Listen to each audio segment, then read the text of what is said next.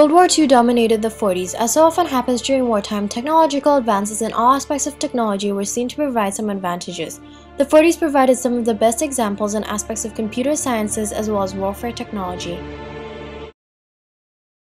In the field of computer sciences, the 40s was a good decade in terms of achievements.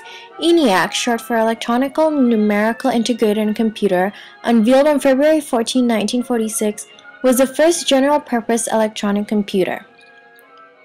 Designed and constructed by John Mauchly and J. Presper Eckert of the University of Pennsylvania.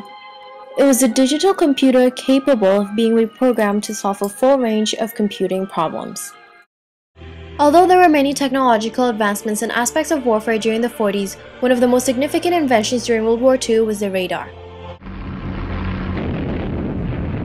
With the outbreak of World War II on September 3, 1939, the vulnerable east coast of Britain was now under continuous radar watch. Robert Watson Watt's system had been improved to the point where it could detect an enemy aircraft by day or night in any weather.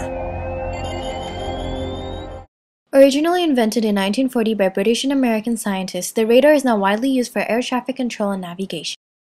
Although most of the innovations during the 40s were harnessed and purposed towards the war, the leaps made in other aspects of technology during this decade would influence its advancements in the following years.